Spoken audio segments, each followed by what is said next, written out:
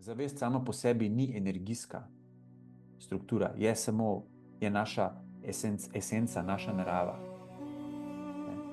In ona se ne premika, ona je vedno kle. Vsak premikajoč moving, ki se dogaja, je v bistvu zaznan z te zavesti. In ego je movement. Ego, govorim, da je ta osebni self, ta osebni delovalec, kar koli pač delamo. Ne? Zato tudi ne moremo nikakor, če nekdo reče, aha, v bistvu, da obstaja subtilna ideja, da grem v zavedanje. Enostavno je spet subtilni del nekoga, ki hodi nekam. To pomeni, da še vedno nismo prepoznali svoje narave, enostavno, enostavno grem v nekaj.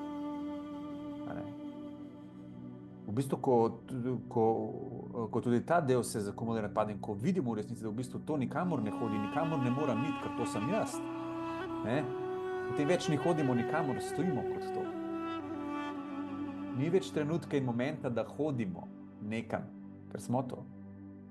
In potem v bistvu spravim temu lopove razkrinkan. Ta zadnji del identitete.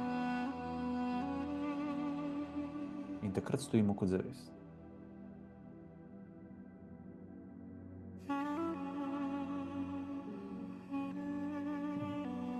In vse več in več tega trpljenja odpade, več in več tega manevrskega prostora, več in več te želje se pojavlja za tem.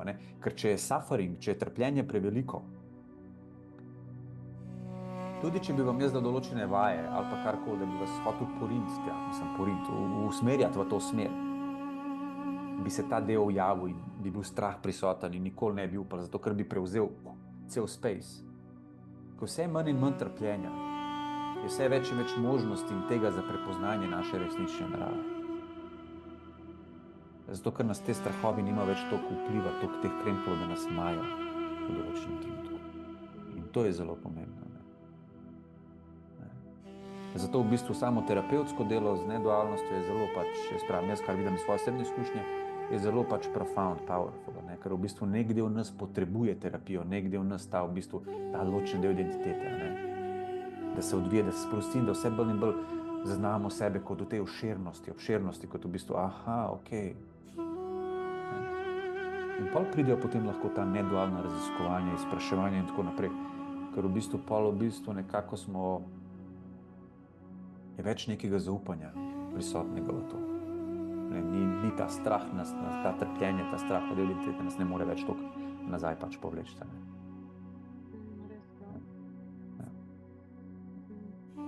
En rab več tega, en rab manj tega, nekdo sploh ne rab tega, nekdo gre direktno na nedualno dum, pa ima shift, pa se, pa se zgodi, se pravi, različni smo vsi. Ne? Nekdo potrebuje sam straight point, nekdo potrebuje malo terapije, nekdo potrebuje na koncu koncev, v bistvu je popolnoma vse en, je samo igra, je play.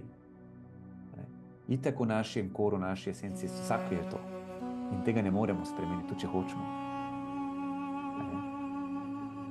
Lahko ratamo samo tisto, kar nismo, ker to, kar smo, smo, ne moremo ratati, ker smo to.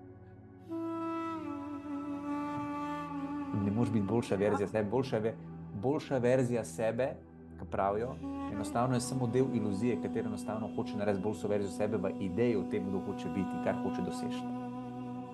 To pomeni, da ne pozna sebe v svoji esenci. Ko enkrat ta struktura odpade, se odvije, enostavno nikamor več ne hodimo ne grabimo stvari, ne hodimo za njimi. Poj. Enostavno stojimo popolnoma. Ja. Ja. To je zdaj moderen stavek, bolj, postani boljša verzija sebe. Ker ego sam po sebi hoče biti inflated, hoče biti napihnjen, hoče doseči nekaj superiornega, zato ker od spodaj ni dovolj dober enostavno se odmikajo od tega in zato hoče biti boljša verzija sebe.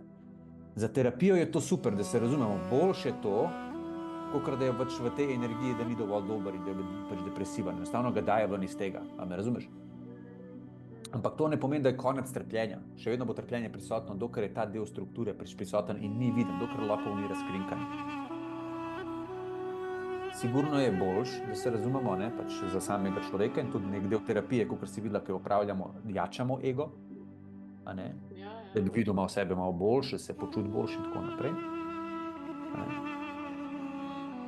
Um, ampak final, resnična, tista zadnja, ne, tudi to imamo rad, da v bistvu ne najdemo ni egota, ne najdemo niti misli, niti ničesar kot samo zavest, kot samo prisotnost.